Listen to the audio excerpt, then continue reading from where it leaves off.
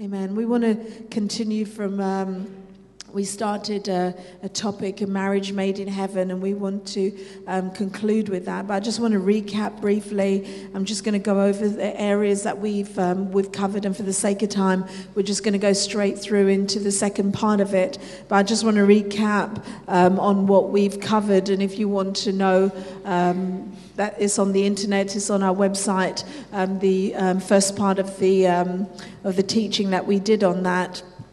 But we began with what every man and woman should know before they begin a relationship um, that leads to marriage. And one of those things was in the obviously in the dating stages. Oftentimes, as Christians, we date somebody once or twice and we're already thinking marriage and we've not gathered um, what we call pertinent information. Um, before I um, decide I'm going to marry somebody with the intent of spending the rest of my life with them, which can be 20, 30, 40, 50, 60 years, however long that may be, it's important that we understand um, am I prepared to live with the things that that person's going to bring into my life. So we talked about gathering pertinent information, which we continue to encourage you as single people. You can't ignore them um, because they will come up and you have to deal with them. And I always say it's easier to deal with with the terms and conditions before you sign the contract. So gather pertinent information. Does he or she have a relationship with God? Because that will affect your marriage. Um, how is his or her church attendance? Because if they don't love God, they're not going to love you like that. Um, their church commitment, are they just attendees, visitors in a church, or are they committed to the church? Because that tells you that whether that person can commit. If you can't commit on this basis, then as soon as a problem comes in your relationship, if, they if they lack commitment, then they will lack commitment when the problem arises in your relationship and they'll be out the door.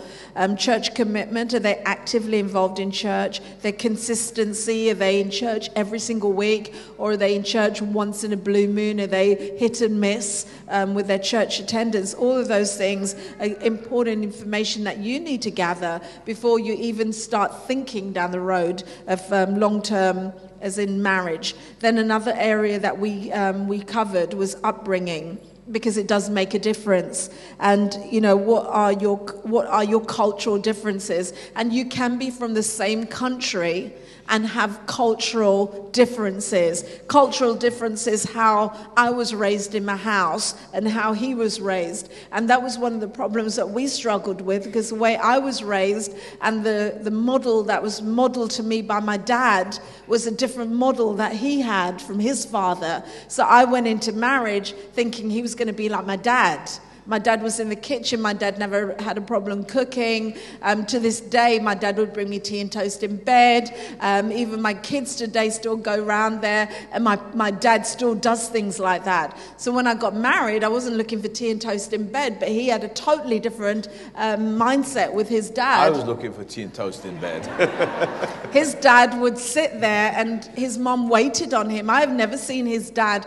The most I ever saw his dad do was um, he would sometimes sometimes go in the kitchen and maybe help her season the meat, but he never cooked, never cleaned. He sat in his chair, never sat around a dining table, which my family always ate around a table. Um, so when I saw met him, his dad's dinner table was his lap, a tray in front of the TV. And I was, so cultural differences is not necessarily, oh, we're from different countries, but just your different upbringings creates, you'd be surprised at the arguments that will cause a relationship if you don't find those things out. How was he or she raised? What role did the father play in the home? Ladies, if his, if, if his father was abusive to his mom, more than likely he's going to do that to you because he's, that's what he was modeled before him. That's all he knows. A man will respond according to the, um, the template of what his father um, how his father acted out before him. A woman will be the same. How my mother, even though we think, I'm never going to be like my mother. You know what? As soon as you get into the role of your mum, you start like what my mother used to do that and you, you don't realize because that's what's modeled we human beings learn through nurturing and the home and how we were nurtured is who we become as adults And that's why it's important as Christian parents that you are modeling a, the right nurture to your children according to how you want them to be. So, Christian men, if you're lazy and you never spend time with God, guess what? That's what you're modeling for your sons. Amen? So, those were the important things. What role did the mother play? But also, here with the mother, it's really important because how many of you have ever had problems with your mother in law? Serious, some people have serious problems. So, you have to also understand and watch the relationship the man has with his mother. Because if he's a mummy's boy, you could have a living nightmare on your hands. And we always tell people uh, that when you get married, you set boundaries. But what some of you do, you're so keen to get married, you ignore all the signs. You know, one time I, I, a, a friend had broken down in Sheffield, and I was, deci- I was going to be the champion. I'm going to drive to Sheffield, even though I had an old bang of a car. And my wife's saying, Are you sure? Do you think you should do this? And there's another lady in the car saying, Do you think you should do this? Maybe we shouldn't do this. But you know, when you're blindsided, you're blindsided, you just you insist on doing it your way. No one could speak to you. We take no advice. And I kept going and kept going. By the time I got to junction two, the alternator went. By the time I got near Sheffield, the, I was driving the car with no lights on the motorway, pitch black driving behind other people, car broke down. I got, uh, I had to, the, the person I went to meet, whilst he was, it was freezing cold, was standing there. He had a coat on. I said to him, Could you give my wife your coat? He said, You must be joking. This is the same guy I drove to Sheffield to get. And on the way back, we had to hire a car, which we didn't have money for. I got stopped for speeding. All this because I would not listen. And many of us are like that. We don't listen and your generation think you know best. And the Bible clearly tells us there's safety in the multitude of counselors. And some of you don't want counsel because the counselor is not going to be in line with what you want. Because you already have a preconceived idea how you want it, what you're going to do. And if God doesn't do it, you're going to make it happen. And remember this when you're dating, when you're dating, it's like the same thing that sunk the Titanic. They looked at the iceberg and thought it was only little icebergs. But every iceberg, if you look at it, it goes way, way below what you can see. And when you see a man displaying anger or a woman displaying anger, I would, I would be afraid to marry a woman who has an anger problem because you don't know if you're going to wake up. Because some of them are very vindictive. So when you see someone with anger, if they're abusive, in the early stages, you need to pay attention because it runs much deeper than that. Lessons we learn, everything that's presented, is to help us make a choice of what we want to do with the rest of our lives. The subjects we hated studying is supposed to try and give you a vision of whether you want to be a doctor, a lawyer, an accountant, or whatever.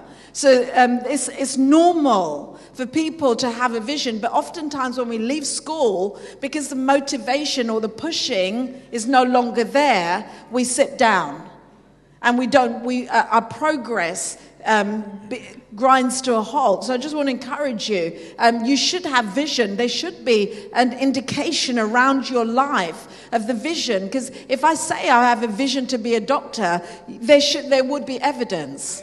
There would be my degree where I studied. I went to university and I've studied. I'm now practicing. So if there's a vision, it's normal for you to be able to see it. A vision, if it's just in your head, you're just a dreamer.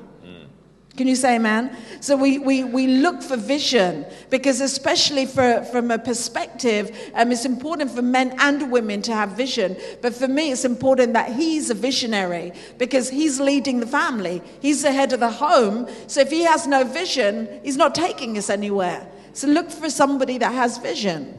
And it's good to have vision because a, a person that has vision is somebody that's positive. Doesn't matter how many knocks they take in life, they get back up again because the vision propels them. But, but, a good thing to, when you meet somebody, is just say to them, when they talk about marriage and stuff like that, just say, What do you see for the next five years?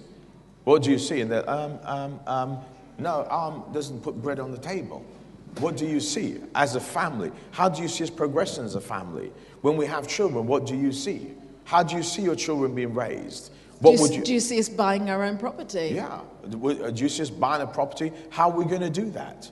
How will, it, how will that happen if you don't get out your bed? Hmm. Because the Bible tells you if you want to prosper, just be diligent. It tells you if you want to be broke, just lay down and fold your arms. It's very straightforward. So before you commit to somebody, you need to find out. Let me tell you, ladies, there's nothing worse than being married to someone with no vision. It, you cannot imagine anything worse than a man who thinks all he's got to do is sit down and do nothing. Sit back and take his ease, and whilst the bills are piling up, and he's go, it'll be okay. No, it will not be okay. And listen to me, there's times, if you don't get a man, that the, the next thing we touched on was pride. If you don't get a man that has not, if you get a man that has not dealt with his pride, that man will take you down to the gutter because of his pride. I would work any job as long as I don't go to prison for it. I'd clean the streets, I'd do whatever it took to put bread on the table so that my family would have some sense of self worth. But if you get a man who's too arrogant and too prideful to lower himself to work and sit around all day, let me tell you, have you ever been unemployed? Everyone ever been unemployed? After a while, you notice after, uh, after about six months, laziness begins to set in. After about a year, you, you're looking for jobs not to get. You're looking for jobs outside of your scope to justify why you're, why you're still sitting home. After two years, you've lost it. It- you, you, you, you will always find an excuse why you cannot be who you're supposed to be. I would, I'm prepared. If I had to, I'd go pack a shelf in Tesco's or Safeways at night and do something else during the day to keep me employed so I could provide for my family. The basic as men, we are men are providers. And I don't know about you, if I can't provide, I'm a most miserable man. Because I want to be able to say, What would you like for dinner? Let's go here, let's go there. It's a natural instinct for a man to be a provider. If that man does not have that instinct, ladies, you are in deep, deep trouble. Let me, let me just finish up with those ones that we covered on uh, Visionary. Are they a finisher? Do they start something and, but they never finish it? Ha- being a finisher is important. What have they thought about doing, or yourself, and have never done it? What have they got to show for all their years on planet Earth? Those were some of the things that we covered. And we began in um, what we called um, competition. I, I can't remember if that was the right word, but um, we've, we've named it the Jones syndrome or keeping up with the Joneses. This is thing coming into church now. You know, I don't know about other churches, but I have seen it in this church. I've seen it with, it's like a competition about weddings. Now, let me explain to you a wedding, the day, the cake, the dress. Most women in this room that got married five years ago, six years ago, you cannot fit into the dress again. Okay, you don't want to talk about that. Okay, but here it is a wedding is just a ceremony. And when you marry somebody and you're trying to get them to be like somebody else, what we call the Jones syndrome is a spirit of competition where the size of the ring is more important than where we're going to live. And we're trying to compare bling bling across the room. You know, and we, we're talking like this oh, such a hard day. And we're trying to show our ring. You know what? When you marry somebody, I have never bought my wife an engagement ring. Never. 36 years, and I've never bought her an engagement ring. She still has the ring today that I bought the, the ring for 18 pounds. 18 pounds was what we paid for the ring. It is what I could afford at the time. And some of you, you want to start up here and don't understand that life is progressive. So what you're trying to do, you look at someone what someone bought for somebody else, and then you're trying to put that. And men, don't get off the hook that easy and say, "Preach it, pastor, preach it," because some you can do better, but you're just tight. So don't think you're going to get off and say, "Yes, you see, elbow, you see." Now let's go back to to that store I saw the ring for eighty pound, Argos. Now, what we do now See, I bought my wife the best that was to my ability. That was what I could afford. But it was not my satisfaction to leave it there.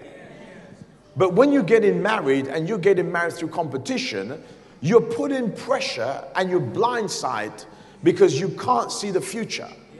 Because what you're doing, instead of looking at where you are and who you're with, you're actually trying to be like somebody else. So I'm doing my wedding not because, you know, uh, there's, there's some have weddings in hotels and some will have weddings, you know, in special venues. But you may be at the place where you may need to go to a community center. You may not even be able to go to a community center. You may just have, don't shake your head, ladies. You're like, no, no, no. Don't do like Shola. It doesn't change the vocals. Sorry, Shola. Shola. But some of you may not even be able to afford that. You may be with three or four friends in a registry office and go to a, a restaurant or a pub or whatever and just say, Congratulations. But you, you know what? I think um, there's this um, level that I think people think that there is that their wedding has to meet up to that. You have to have 150 200 250 guests. You have to have a particular style of dress. A ring has to be a certain who says? Um, i think you have to make it your own. Um, don't try to be like anyone else. Don't try to do it like anyone else. You um, what you have between you make it happen from that. Um, when you, you get into trouble when you're looking over here at how so and so done it, how many guests so and so had, how big so and so's dress and ring and etc. was. But we were in um, we were in Italy a while ago, and there was a young couple there, and they got married straight out of uni. Um, they were from America, and we were talking to them, and I think they had about 20 or 30 guests at their No, wedding. no. No, The you weren't. one. No, you weren't there. It was me and the girls, and um, there was they had about. That's another, no, no, because we were talking to a couple, so I thought it was that one. They got married the first time, they had 350 guests, and they divorced. And on this one, they say she got married six years ago, and they go back to Italy every year because that's where he proposed. And the second wedding, they had five guests because they said after 350 guests, the presents didn't add up to one decent one. So, what you're trying to do when you have this grand affair, you, you actually be careful you're not trying to impress people. It- it's pride where you're trying to say, I had this big wedding, but you, you, you leave the wedding. And let me tell you, after the marriage, there's always a dip. It's like going up on, the, on that thing in the, in the park. Escalate. No, that thing in the park, those roller coaster thing. And then you're up the top, everyone, "Ee!" and all of a sudden, shoo, you get the dip. And you know, it's what happens after the wedding. It's like at before the wedding, like, oh, you're getting married, oh, and everyone's happy for you.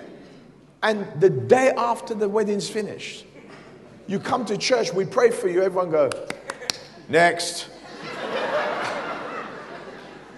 So you get this lull. So be careful you're not planning a competition instead of a wedding. Because what you're getting into is debt for people who really don't care about you, just for a moment's pleasure to say, I had 350 guests. And they spend all their money on themselves, and you got nothing from it. And then after the wedding, you're both now looking for somewhere to live. And you're going back to those people, could you rent me a room? No. But you know what? A lot of couples, because they, they want to impress or it's, it's more for pride or what everybody else thinks, they get themselves into debt. That's not the way you start a marriage.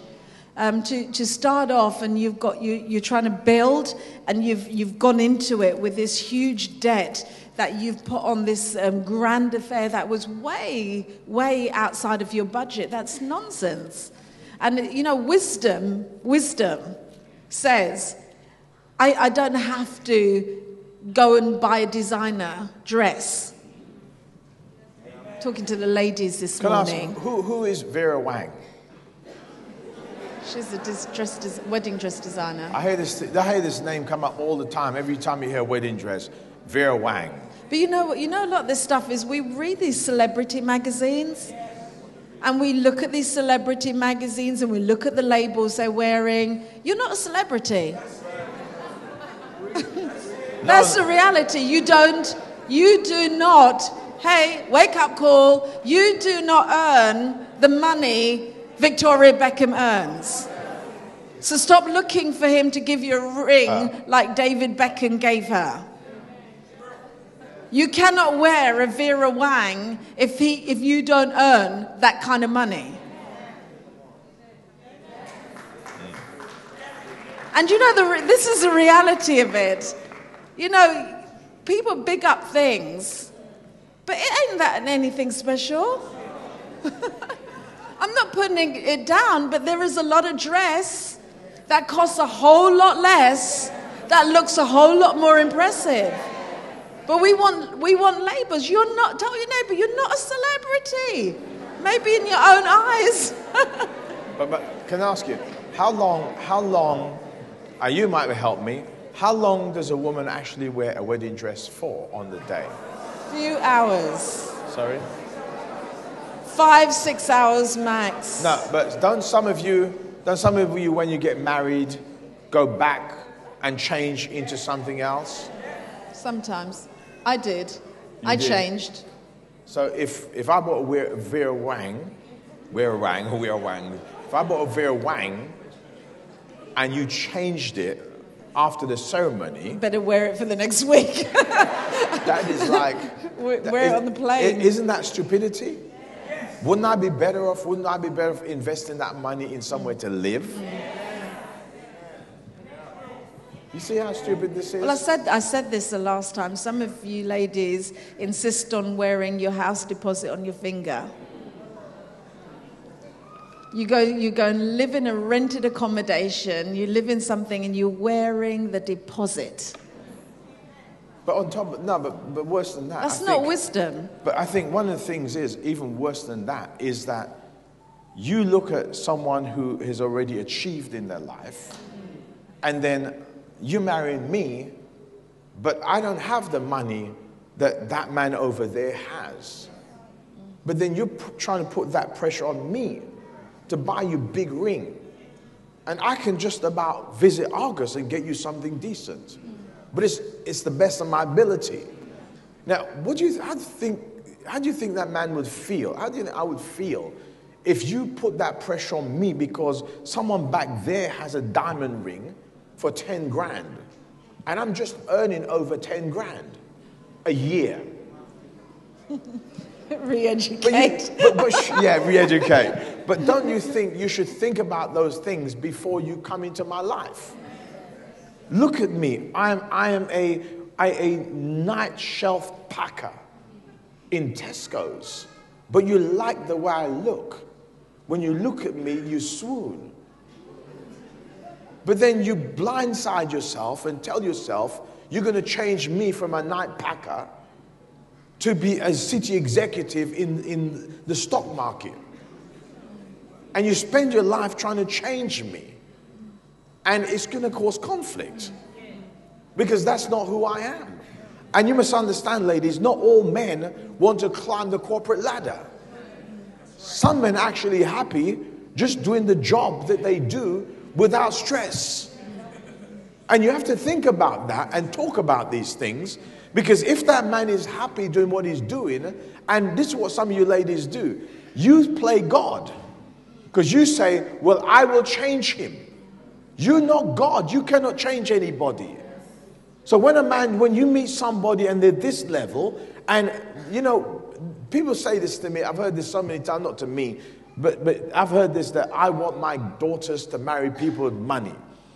I've never said that. What I do say is I want my children to marry people with potential. Potential, you could be broke, but if you have potential, you're going to succeed. What I look for is when they're dating. When I see um, Sarah was, was engaged one time, and I looked at the way her car was, and I'm looking at the guy who's sitting in the car and even driving her car. Her car. He doesn't have a car, he's driving her car. And the windscreen is cracked in about 10 places. There's dents in the car, and the car wasn't like that when she met him. And the car's always dirty, and he, she drops him home and drives an hour to get home. Well, that's concerning. Because when you're looking at that, you have to say to yourself, something is amiss here. So you're looking for somebody with potential, somebody that will take care of your child. And you ladies need to start looking for potential and not trying to think how you can change the person. Let me tell you, if a man doesn't have drive when he met you, he's not going to have drive after he met you. Amen. Listen, listen to what scripture says in Philippians chapter 4. If you turn there with me, Philippians chapter 4. We've got to get off of this designer stuff, this competition stuff, and I, I think sometimes us ladies are more prone to that stuff. Um, most men are pretty easygoing, um, but I think a lot of the times um, us ladies, we read so many of these magazines that puts a fantasy in our head and we gravitate to fantasy. We need to get back to reality. Ladies, talking to you this morning, we get into a place of fantasy. That's not our world. Those magazines that we read about celebrities, that is not the real world. That's not our world. And we need to stop with this designery thing and start and just get back to reality and get back to the simplicity of life, get back to common sense Amen. And get your head out the clouds because some of us, we are dreamers. Amen. Philippians chapter 4, are you there? Philippians 4, verses 11 to 13 says, I'm not saying this because I am in need, but I have learned to be content whatever the circumstances. I know what it is to be in need, and I know what it is to have plenty.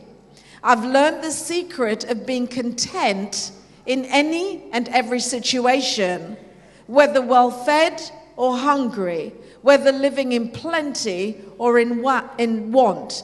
I can do all things through him who strengthens me.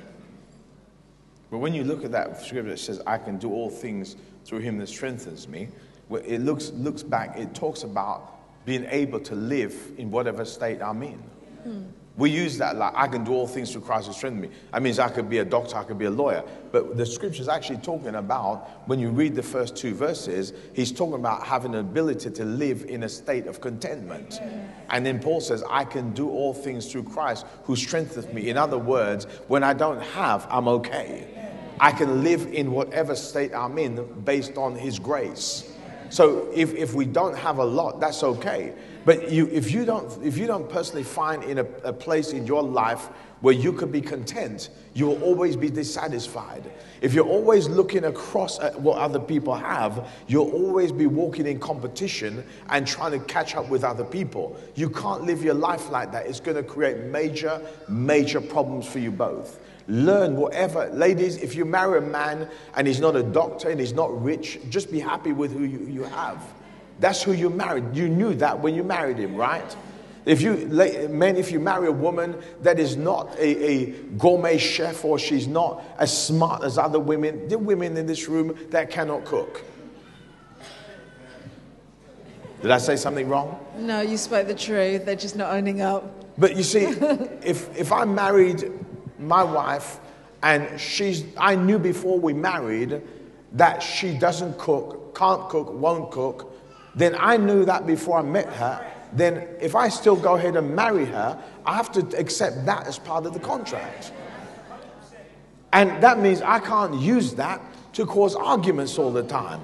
So if I know, you, you know, ladies, if you're marrying a guy now, he's a mummy's boy, he's, he wants to be a bachelor even after he's married, he likes to hang out with his friends, he disappears for days without, without telling you where he's going. If you know that and you still marry him, don't complain about what you allow. You get that? So if, thank God she does cook, but if she didn't and I knew that and I still went ahead and married her, then I have to learn to stay content with Domino's or KFC or whatever. So when Paul's talking about this, he's actually talking about learning to live in your means and learn to be content with what you have. You may never have a new car, but you know what? You're content. You know, but here's, here's the place of contentment. It's like you're not planning to stay there. um, we, there was different stages that we were at throughout our marriage. We're coming up for 36 years this year. But you know what? There was places where we knew we were going somewhere. Um, we were content with where we were at. I was content with what he gave me um, when we got married, which was a wedding band. I didn't have an engagement ring. But you know what? As we grew and as we progressed, um, things get better. And that's, that's the purpose of having somebody in your life that is a visionary, because you're not going to stay here forever. And some, some of us today, when, uh, you know, young people, you get married, you want it all. You know, when we got married, we had no furniture. We had a chair that my mom gave me, we had a single bed. Some of you, you want the whole house and the furniture. You know, part of what builds a marriage is a fun in saving for stuff. It's the struggles in saving and, and saving up for, for a bed. I remember we bought um, an airbed from Argos and we saved to buy a bed. Because one of the things we learned, it was because where we weren't content at one time and we went and took all this stuff on finance and we were we overstretched ourselves and we got into trouble trying to pay a mortgage trying to pay all the finances for furniture. And we lost our home. So the next time round we says you know what? We're gonna we learned contentment the hard way. And we learned you know what? We're gonna have to pump up this. Uh, well, we actually had an airbed for a, for a bed, and I remember we bought uh, one of these cane furniture things from Argos. You know that like a conservatory furniture. That was our sofa. It was 199 at the time, but we said we were going to get a proper sofa, and we saved. And I remember we saved and saved so that when we could afford it, we went and paid for it cash. There was no finance on it. And when it got delivered, it felt so good. We learned, we were very contented to sleep on an airbed on the floor until we saved up enough money to get the bed that we wanted. Amen? And you can't want it all up front. You can't want it all up front. You've been married for five minutes. You can't have it all up front. It's wonderful if you can, but in reality, the average person, it doesn't work that way. Amen? And we put, un, we put ourselves under unnecessary pressure because one of the things that causes divorce in a relationship is when there's financial problems. And when you put yourself under that kind of pressure, what are you doing? You're bringing something into your marriage that's going to put a pressure on you both, that's going to cause you to have arguments. So just take your time. There is no race. Come on, there is no race. The, who are you trying to impress by having the house furnished from top to bottom? You pick one room. And some of you, you, you don't even want to start with a one bedroom flat. You want to start with a three bedroom house and garden. It doesn't happen that way for the average person. Sensibility is let's buy ourselves a one bedroom flat. Let's leave enough room that we've got finances that we can still holiday. We can still enjoy life. So we're not just working to pay a million bills, but we we can pay our mortgage and we can still go out for dinner. We can still go on holidays. We can still do fun things. I can still buy myself some shoes if I need them. But when you're so stretched, you've got holes in your shoes and you're having to put cardboard because you stretch yourself so thin that you can't afford. That's not wisdom. So you buy yourself, you start off Visionary, you're not staying there. You're planning maybe three years up the road, well, we'll sell that, we'll buy two bedroom place. Maybe five, six years from now, we'll sell that and we'll buy three bedroom. Maybe later on, 10 years, 15 years, we'll get the bigger house with a garage, etc. You have a vision and you work towards it. So when you get that one bedroom flat, you work on fixing one room. Amen? It's contentment, but it's using wisdom with it. And you're able to enjoy your marriage. You're able, those things help build you as a couple. Amen? When things come too easy, there's no real deep foundation. But it's those things that cause this foundation. We did this together. And there's that sense of achievement, that sense of accomplishment that we did this together. Amen. That causes a marriage to be strong. Amen. I just want to fast forward for a moment to go to the marriage because we did the last time we didn't actually cover marriage. Um, but I want to go forward a little bit, then we'll come back if we have time to some of the other things, like we're going to cover communication as well. But they say, I think it's two, two in every three marriages now are ending in divorce. This is not just in the world, it's also in the church. And I don't know about you, but I wouldn't want to do this more than once. Do you know what I mean? I, I would hate now after Danny's, um, she's 28 this year. Wow. Sarah's 31 this year. Dominic is 23 this year. Michelle is 36 this year. The very thought of going back to square one with somebody else and starting a family again is almost depressing. You ever play snakes and ladders? You ever play snakes and ladders? We played this together with Ashley, and the, when you get to the top and you land on the snake's head, and you, that, you know the one that takes you all the way back to go? That is so depressing. So I want to make sure that when we do this, it's a one shot. You aim for bullseye. That means what we're going to do is cover all the bases before we commit. Now, when you get married, like now you're married, there are people in here who are probably at conflict with each other, even though you're married. There are probably, probably people in here, even though you've heard all of this, you're still holding on. And some of the things we've got to learn to do as married couples is deal with conflict. For instance, if I say to my wife, You're doing something I don't like, you should be able to say, Okay, what is it? No, well, what, what, what, what about what you do that I don't like? Well, no, that's not what we're talking about. We're talking about you right now. Right? We're talking about you. There's certain things you do I don't like. I should be able, you should be able to say to me, What? you, you okay, honey, what? Remember, you. Go, hold on. You need to go home with me today. You didn't hear that, did you? You did? Okay. So I should so be. what? You should say nothing. Nothing. Okay. Forgive me, Father. But, but I should be able to say, we should be able to say, look, you know what? Because um, I said to my wife, she thought food was my love language, and it's not. I it really was. It, that was many you years changed. ago. I know I changed, but look at how you changed. My God, you're talking about my change. My change is one. I used to run home from work for that my was, food. That was 36 years ago. I can't hardly run now because I run home to your food. Okay. So food is not one of my love languages. You you know, still like good food. Yeah, but what, liking good food now is not matter of taste; it's age. Because when you get to my age, everything counts. So you don't want to eat something just for, like you want to eat McDonald's just because you're hungry. Because then you feel you feel you hate yourself. Why did I let this come in my body? And, and so now when I eat, it's like I want to eat something I'm going to enjoy because you understand, especially when you get to over 40 and 50 and you know everything you eat puts weight on you.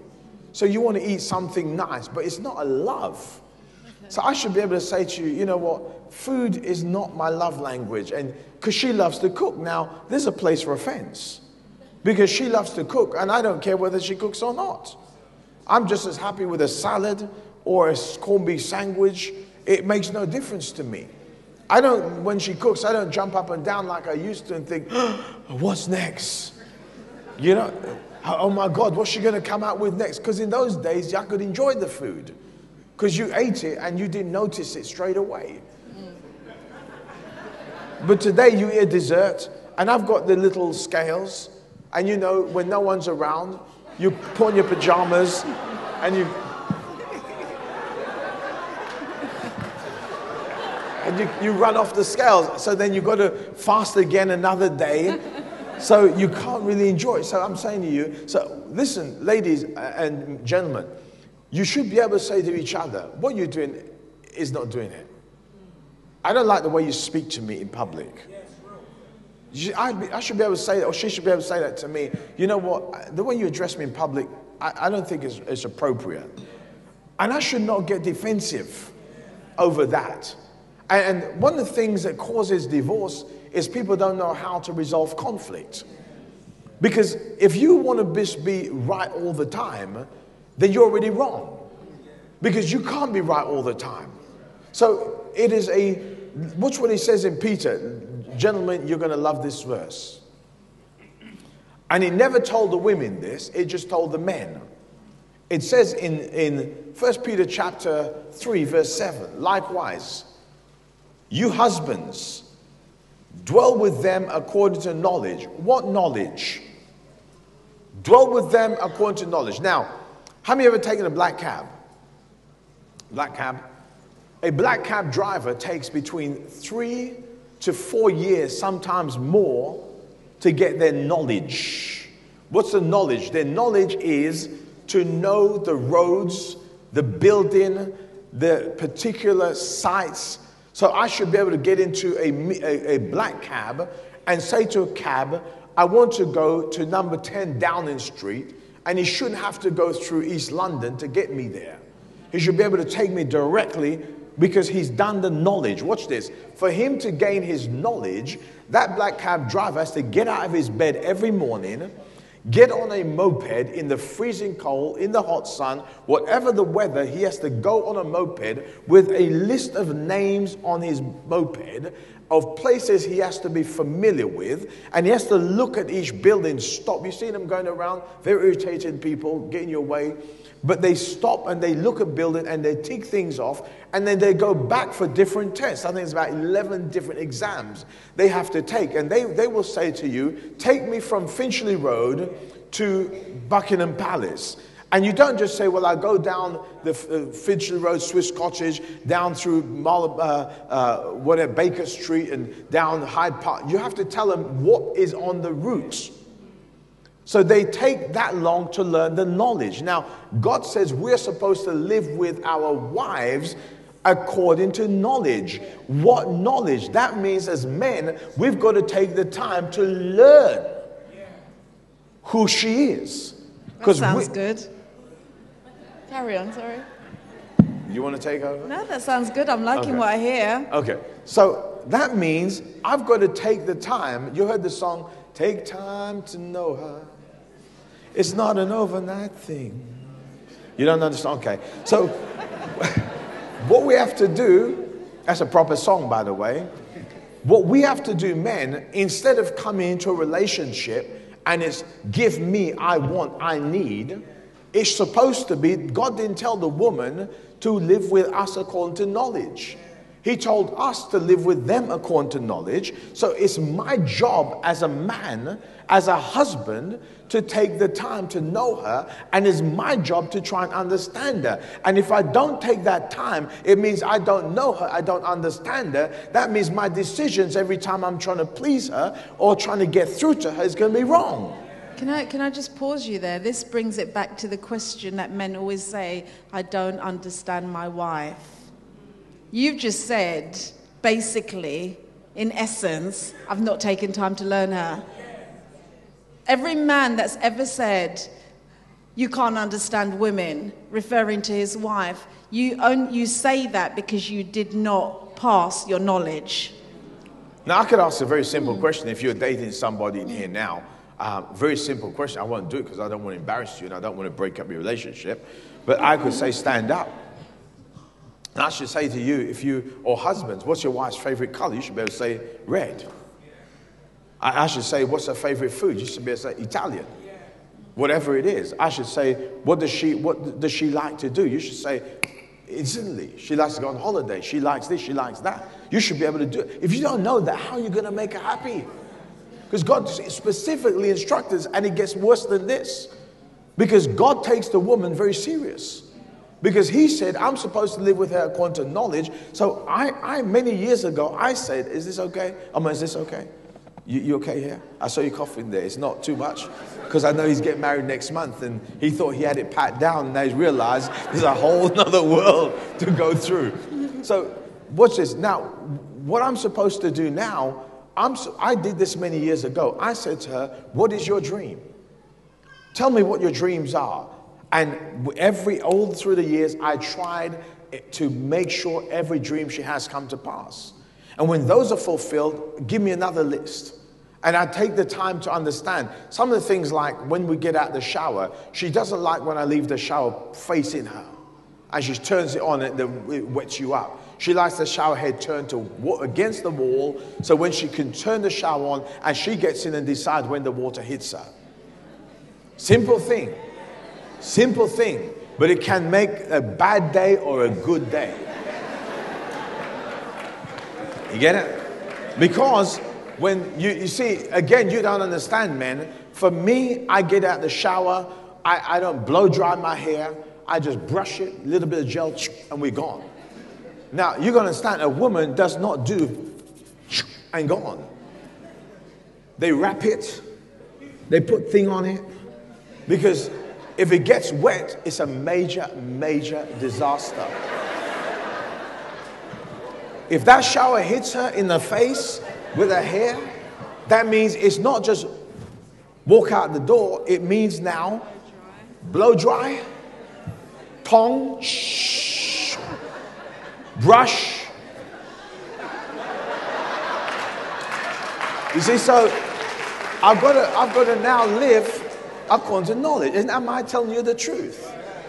So I've got to take the time to really, really understand how does this intricate thing that God has made and placed in my life. You know, these, these projectors here cost a lot of money. These projectors can do things that none of the sound team know. It can do things, it has, uh, Elisha showing us today, it has a, what they call, where you, an USB. It has a USB, so we could probably put all our things on that camera. It's, it's a high tech projector. But someone threw away the instructions. Won't say who. But someone threw away the instructions. So, because none of us know how this works, until we can order the instructions, we will never know the potential of what we have. And the manual for my wife is here. If I go to the manual, watch the, watch the manual says. This is my motivation, not about yours. What's my motivation? Because if God said it, you know, when God says something, take, pay attention. He says, likewise, you husbands. How many husbands? Da-da, you can't skip out now. Dwell with them according to knowledge. Watch this. Giving honor unto your wife. You give her honor. We're supposed to honor. How do I honor my wife? How do you honor your wife? I make her feel like she's a special person. When she's done dinner, I honor, thank you so much. It was wonderful. I know my wife many times when we all eat, she just sits there and waits for everyone to say, Mum, that was really nice. And then I know what she hates is when everybody gets up, which is a sign of great, great ungratitude. When she finishes cooking and everybody gets up and leaves the dirty dishes for her to wash. So I go and wash them most of the times. Help me. Okay. But he says, giving honor as unto the, unto the wife, as unto the weaker vessel. So that means she shouldn't have to put the bin out because she's the weaker vessel. I filled it up. It was filled up feeding the family. So there's certain things in our house she doesn't have to do, and there's certain things in our house I don't have to do. But this is a scary part. And as being heirs together of the grace of life, watch what it says. What does it say? That your prayers. Sorry. So, men, let me help you now why some of your prayers are not being answered. When you dishonor your wife, when you don't take the time to know her, you develop a brass heaven over your life. That means your prayers go like this Father, in the name of Jesus, boom, boom. If you don't honor her, you, you, uh, so I, I could feel light bulbs coming on all over the room. Because when we don't honor her, God will not honor us. So that means I'm not only going to take time to know her, and my life should be spent trying to make her happy. Not me sitting back and her trying to make me happy. Because the Bible did not tell the women to honor their husbands in that way. It didn't tell the women to live with, with your husband according to knowledge because we're quite simple. Food.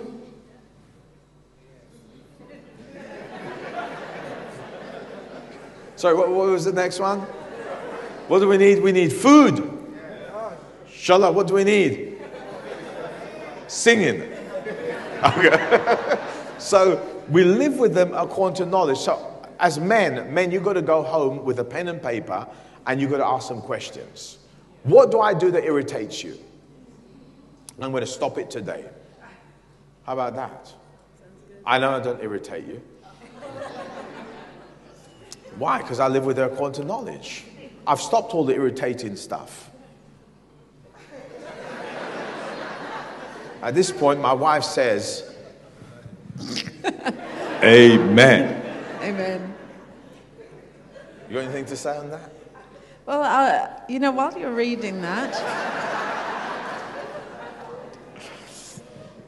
keep your finger in First Peter and just flip back a little bit into Ephesians for me.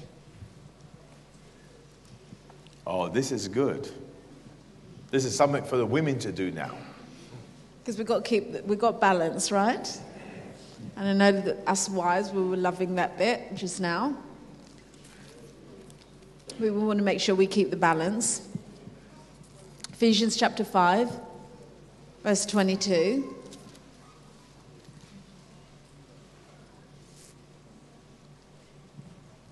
Say amen when you're there. You're there? Okay. See, we normally take scripture out of context. Husbands usually know this scripture more than the wife, because this is a scripture that most husbands will quote to their wives. That woman, you need to submit to me. But we, you failed to do the other part of honoring her and um, living with her according to knowledge. So when we balance it, then it, the, the, it brings harmony into our marriage. The, the scripture to us ladies is wives, we're to submit ourselves to our husbands as we do to the Lord. So there, there, there is a level of submission as we, the same way that we submit to God. So as a wife, I can't be talking to God, but then I don't talk to my husband. I can't be going before God and singing songs of worship and adoration, and then because we're not talking, I'm balancing on the edge of the bed. And I don't want to, I don't want to touch him because, you know, we've, we, we're not talking. You with me? Am I nailing you? That's okay.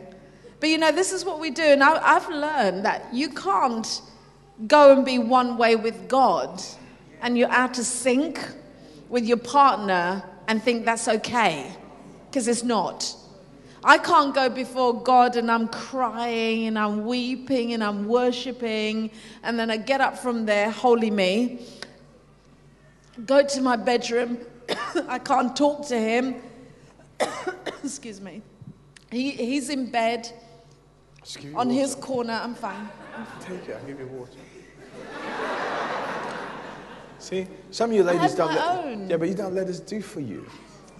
Yeah, but I'm, I'm in front of the whole congregation. how could you do that? How, how, can you do that? Thank you. Thank of, uh, you. in front, people watching live Tell around him the thank world. you for me. It's all right. It's all right. Okay. They said thank you. Wow. okay. 36 years, it's still working, you see? You never arrive. But you know, you can't, you can't do that, girls.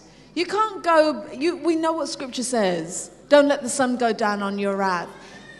I'm living with him, I'm submitting to him as I'm, I am to the Lord. When we do something wrong with God, we're supposed to be quick to put it right, quick to repent.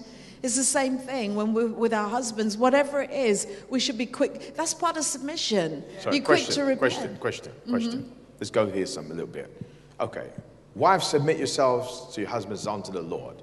Suppose I backslide. I don't read my Bible. I don't pray. I'm not close to God.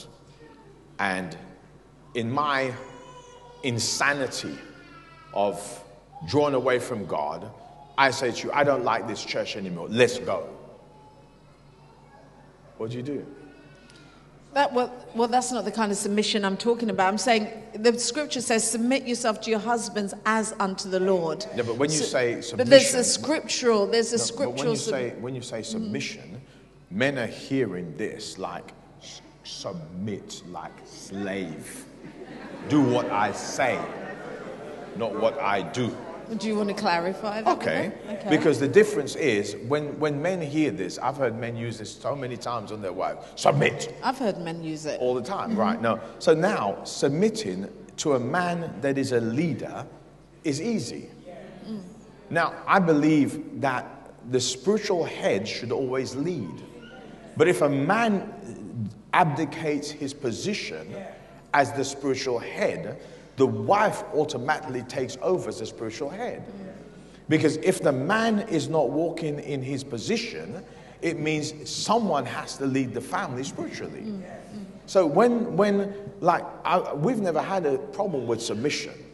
We've never had that problem because um, I never have to say, I'm the leader, follow me. Um, some of you, when you're shouting out in your home, I am the head of this house, the Bible says you must submit. You are, it means that you're not a leader, you're a follower. Because anyone that's truly a leader never has to tell people, follow me. People just follow. So when, when like for instance, I've seen men where they get offended and they just decide, well, I'm taking my wife, I'm taking my children, and we're leaving church around the world. So as a woman, do you allow your husband to destroy your whole family? Do you, do you see what I mean? So somewhere the wife, I believe, because you're submitted unto the Lord. So somewhere the wife has to stand up and say, no, I'm not leaving God for you. And by taking, okay, let me give you the example. Let me give you yourself. Remember, she gets saved in a Pentecostal church in the middle of what they call convocation or conference. Every day, she's in the church. Now, my first image of church is like, oh my God, this is an everyday thing. Because I didn't know what church was. So every, mo- every time I come in, she's running out the door, little skull cap on her head, running to church. And I'm thinking, this is like every day. I didn't know about convocation or conference. It's just every day she's in church. So I says, you know what? Make sure my food is cooked before I come home. Make sure my clothes is ironed. And you did that, right? You submitted. You submitted. But then I gave her the choice. It's me or the big man. Stupid. I mean, duh. The big man could have said, you know what? Your candle's gone out. We did some stupid things. But then she done something I was not used to. She didn't submit to me in that area. She cooked my food, she done my clothes, she done everything a wife is supposed to do. But when it came to choosing between me and God, she chose God, which is the right decision. She did not submit to me on that level. And because she did not submit, I'm standing here today. But we can take that further in the, within the church. If, if a man isn't in a relationship with God, you can be a Christian, you come into church, but you have no relationship with God. How can you be leading? How can you be leading when you are not in fellowship with God? And there are men in here, you, you, you, you have the title Christian, You attend church, you come to church, but you, in your personal time, have no relationship with God. How can you be leading me- and, uh, and, and ha- want to have your family submit to that? You have no vision because if you're not in relationship with God, you're not getting His blueprint, you're not getting direction from Him in which direction to lead your family. But leading spiritually is more than just making decisions. You understand? the reason why it has to have someone leading the home spiritually is because the Bible says the principalities, the power, spiritual wickedness, rules of the darkness, there's demonic activity coming against your home and against your life. There's demonic forces that want to destroy your life. The Bible says Satan's come to steal, to kill, and to destroy. And if, if the man is not taking his position, that means if the wife doesn't take her position, it means Satan can come in and do whatever he wants in your home. So there's always got to be a spiritual leader.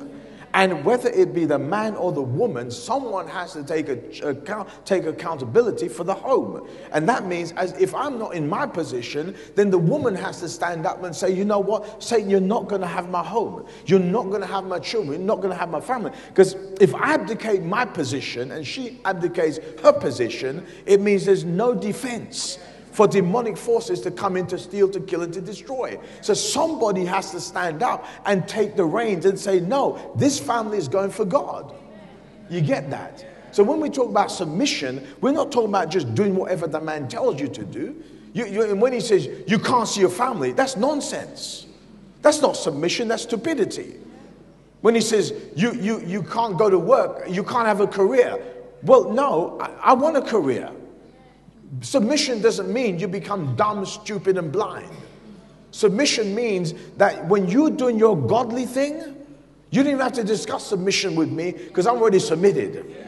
Most women do not want to handle bills and creditors and make decisions. They want to look, do their makeup, do their face, look, buy their clothes, and be happy in following you. But they will follow you if you're the leader.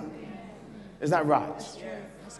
So that's what, what I say submission is when you, when you are men, when we are doing what we're supposed to do, my children, I don't have a problem with my children, you know, in the home. They, they are, you know, they, they are, they don't rebellious, they don't fight me. Um, Well, we, let, we let- let me, that. let me give an example. I mean, in, within our relationship, if I will do everything in my power as a wife to, to do things that honor him, um, do his meals, take care of the home, take care of the children, take care of his laundry, etc. But if he's in a place where he's not in the place of relationship with God that he should, it's very hard to submit to that. Does that make sense? It's very hard because if he's not connecting with God, if he's not hearing from God like he should, and he's in a spiritually cold place, where is he leading us? So there, there, there comes a place where I, I know for me, it's like I've always wanted to be in a strong place spiritually. It was a decision I made a long time ago to be in a strong place spiritually so that if anything ever happened in his life, I wanted to be able to be strong enough to be able to hold the family in, a, in that place till he was back on his feet. So many of us women today, we throw away or we don't um, determine to build a spiritual strength and relationship within ourselves with God so that if anything happens with our husbands or if he's not where he should be, we're not in a place to pray it through. We're not in a place to carry it through. We, we never we should ladies we should never ever ever get to the place where our spirituality is reliant on our husbands I'll say that again. I said we should, as women, married women, we should never think that now I'm married, I can relax on my spirituality, that I'm reliant on this man to carry me spiritually. No, no, no. That's totally wrong. Supposing something happened to your husband tomorrow, where would you be? Your, your strength as a woman determines what happens to your family. We were talking about this in mentoring today that, you know, you often hear the saying that the backbone of every family is the wife. Because you remove that and most families fall apart. So I would encourage you as women of God, don't think, you know, oh, I can relax now. I'm married. This man's going to take care of all the spiritual stuff. No. You need to develop that for yourself. You need to be strong, a strong woman. Because it's no longer just this man. Uh, every man deserves a strong spiritual woman. And I will say to the men, don't be scared of a strong woman. Because you don't know when you're going to need her strength to walk through a tough time. Amen? So don't throw away your strength because there's times when um, people, we go through different phases where we're not always on point with God. Come on, it's reality.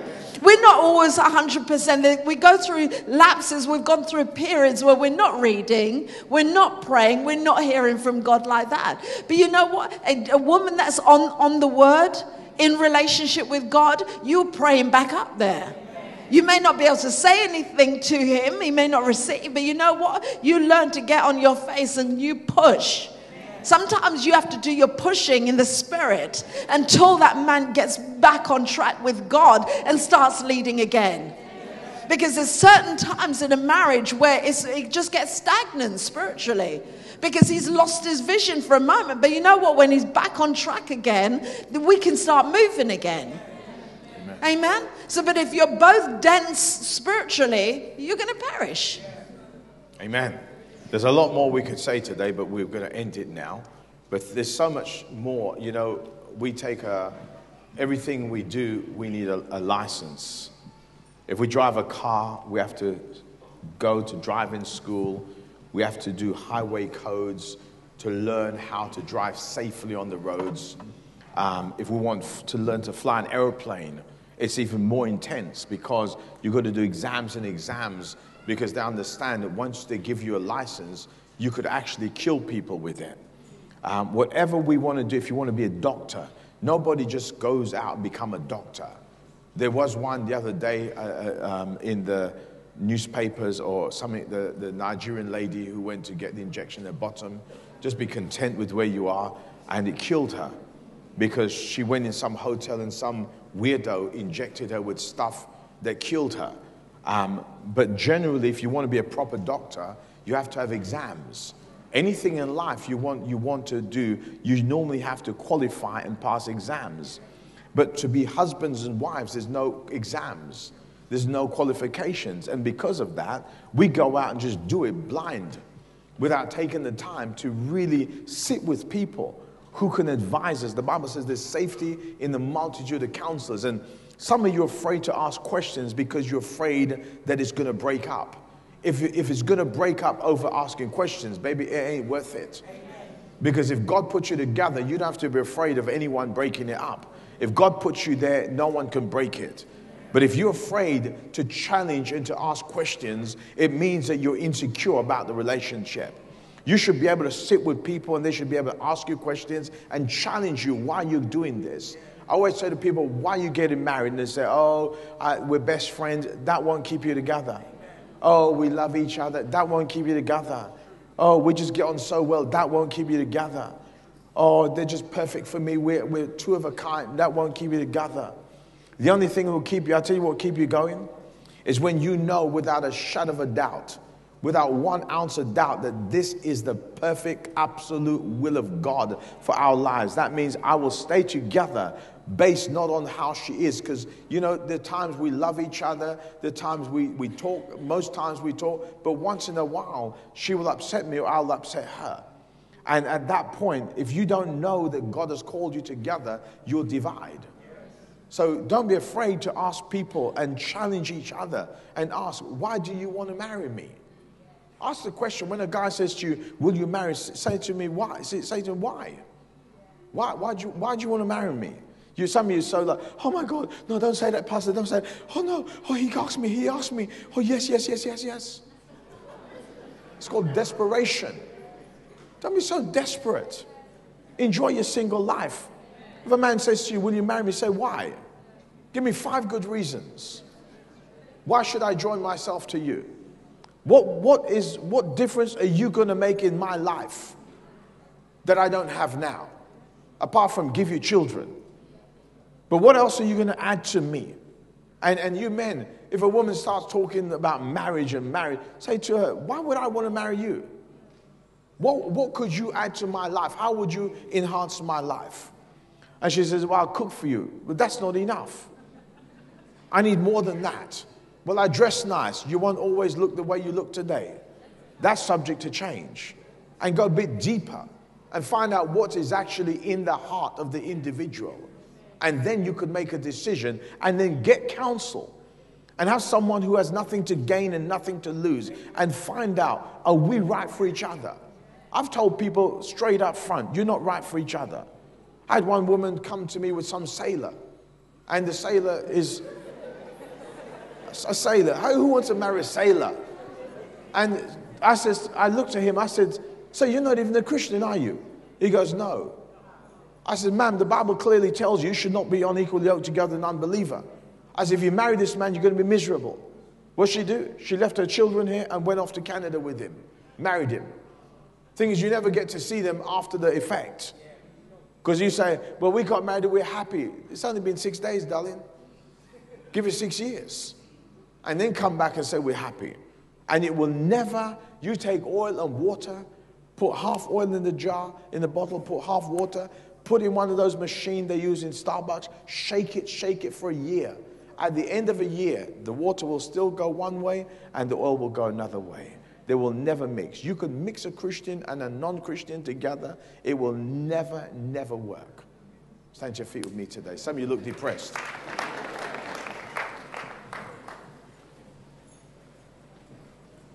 Amen. Next to accepting Christ as your Savior, this is one of major, major decisions you'll ever make in your life. Some of you men, you need to change. That's why you're still single. You, you're so rigid some of you women, you're also so rigid that you, you won't change. And if you can't be changeable, why would God give you somebody? Amen. And some of you are so determined to have it what you want rather than say, God, give me what you know I need. Amen. Amen. God knew what I needed when I got married. And we submit that to Him even to today. You see couples and you just say, that's a match. You see others mismatch like a donkey and a racehorse, right? Pulling the same cart. Unequally yoked. The stallion is up here and the donkey is plodding along. And the stallion said, Come on, come on. And the donkey says, I'm, I'm not in the mood. I'm not in the mood. It's unequally yoked. Get two stallions together, they're gone. Get two donkeys together, they go. But they move together. You say, man? Bow your heads with me today. I hope this has helped you today. Please understand the things we say to you.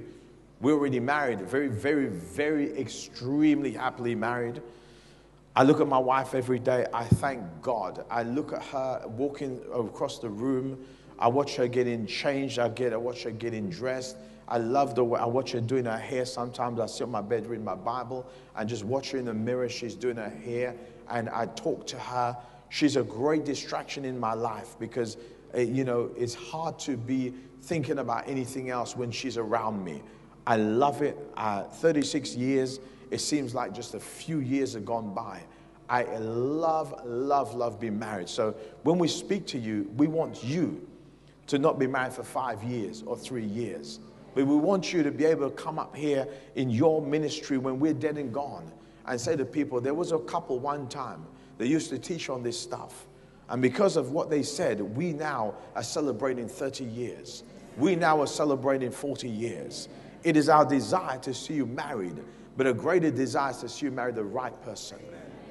Nothing, I cannot think of anything worse on this earth than going up an aisle with a stranger you don't know and waking up and regretting the decision for the rest of your natural life. It's a nightmare. So, what we tell you is to help you, not to condemn you or to judge you or to put you down, but we truly and sincerely want the best for you. In all our years, we've seen so many people that were married and have divorced and separated. And we always said we will never divorce, never divorce. And if you stay together long enough, you go past that point of anger and you go into another realm where you come out the gloom and the darkness and you come into another season in your life. Would you bow your heads with me for a moment? I to ask you today before we close if you were to die today, where would you go? Where would you spend eternity? When you ask that question, people have many different answers. Some say, I'll go to heaven, I hope. Some say, I think I'll go to heaven. The decision between life and death is not something you should be hoping for or guessing at. When you die, you need to know for surety what's going to happen to you when you die. Now, you may say, well, you know, I tell you, Jesus is the way, Jesus is the truth, Jesus is the life. You may say to me, well, I don't believe that. I believe that many roads lead to one God. Well, you know, they said one many years ago that if a man ran a four minute mile, his heart would burst. Just believing that does not mean it's going to be reality for you. Here's a fact whatever religion you tell me you belong to, you tell me how that religion will deal with the sin in your life. And you say, I have no sin. Let me tell you what every man is born into sin. Every man, woman, every child is born into sin. A religious leader came to Jesus one night and says, We know that no man can do the works you do except God be with him. He said, What should I do? What must I do to be saved? Jesus said, Except a man be born again, you cannot even see the kingdom of heaven. He says, How can I be born twice? How can I enter my mother's womb the second time? Jesus said, You must be born of the Spirit of God. In other words, when Adam and Eve sinned in the Garden of Eden, man died spiritually. Jesus went to the cross and paid the price for mankind's sins. Jesus said, Except a man be born again. In other words, unless you accept the redemptive work that was done at Calvary, where Christ went to the cross, an innocent man, and crucified for the sins of the world, unless you come through him, there is no heaven. He said it this way Jesus says, I am the way, I am the truth, and I am the life. He said, No man comes to the Father but by me. You could look out to religions, but there's no religion that can help you. In fact, religion has caused more wars and more deaths than anything else. Christianity is not religion, Christianity is relationship. It is a relationship with the God, the creator of the heavens and the earth. I want to ask you today, I'm going to pray with you. I'm going to give you an opportunity to accept Jesus Christ as your Lord and your Savior. You say, I don't believe in Him. Well, you know what? One day you're going to die and you're going to find out how real He is. But the sad thing is, when we die, we don't get a second chance to come back. We don't come back as an animal or a fly.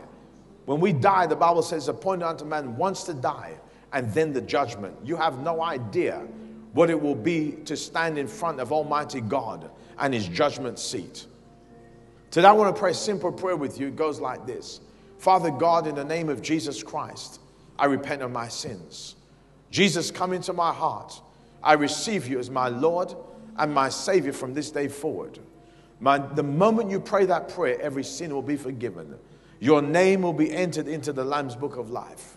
The blood of Jesus Christ will cleanse you from every sin. But He will not come by force, He will only come by invitation. And I say to you today, I want to pray with you. This is what I want you to do. If you're saying, Yes, Jesus, come, I want you to be my Lord. I want my name written into the Lamb's book of life. I want every sin I've ever committed to be washed away, wiped away, forgiven. If that's you, you say, Yes, preacher, that's me then I want to pray that prayer with you today. Father, in the name of Jesus, I repent of my sins. Jesus, come into my heart. I receive you as my Lord and my Savior from this day forward in Jesus' name. You saying, That's me, preacher. Would you slip your hand right up above your head? I want to pray for you right where you stand. Raise your hand as high as you can. God bless you. I see your hand over there. Anybody else? I see your hand. God bless you. God bless you. God bless you. Anybody? I see your hand back there. God bless you. It's your choice. It is your choice.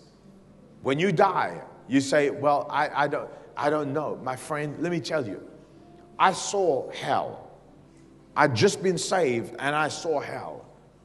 I went to the mouth of hell and I heard the screams of people who were lost for eternity, people whose souls had been lost for eternity because they thought that this was all there was to life. God bless you.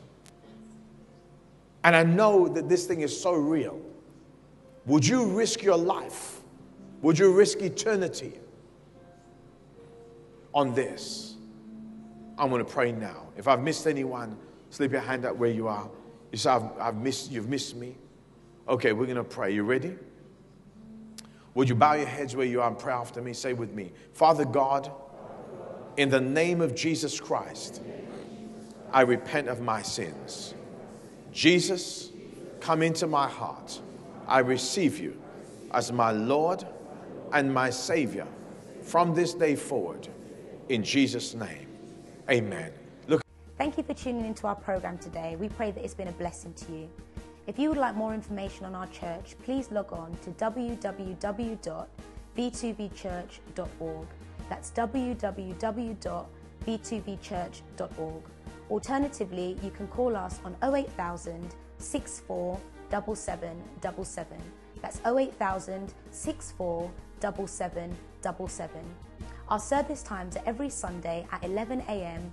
and 3 p.m. for the youth service. We also have midweek service on Wednesday evenings at 7:30 p.m. We look forward to you joining us. Have a great day.